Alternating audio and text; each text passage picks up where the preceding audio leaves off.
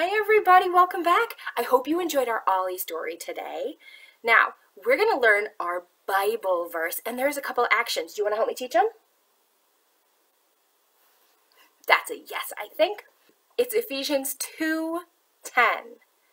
God made us to do good works.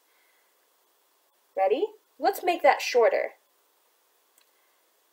God made, can you say that?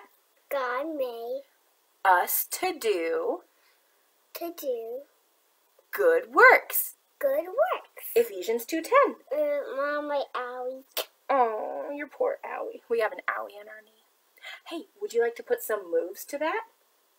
Yeah. Okay, let's point up. God made. The world. That's true. Hey, can you repeat after me with my words? Can you say, God made, God made and then point to yourself, us to do to do good works? good works. Can you thumbs up for good works? Ah! You almost gave me an owie. Okay, let's all say that together.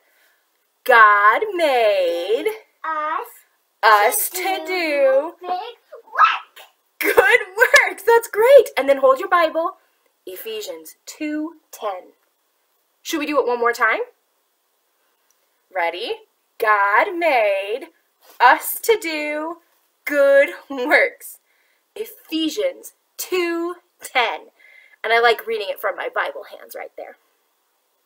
I really like our Bible verse because it reminds me that God made me and God made me to do good and wonderful things. I like our memory verse because it tells me that God made me and you to do good and wonderful things.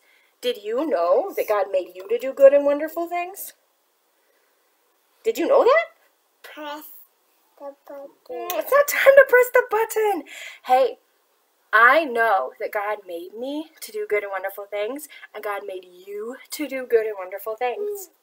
One of the good and wonderful things you can do is to tell other people about Jesus and how they are made to do good and wonderful things and love each other. Hey, who can do what God wants you to do? I can do what God wants. That's right! Let's all say that together. Who can do what God wants me to do? I can do it. I can do what God wants me to do. Mm. I can do it. Good job! So great, kiddo. Bye bye.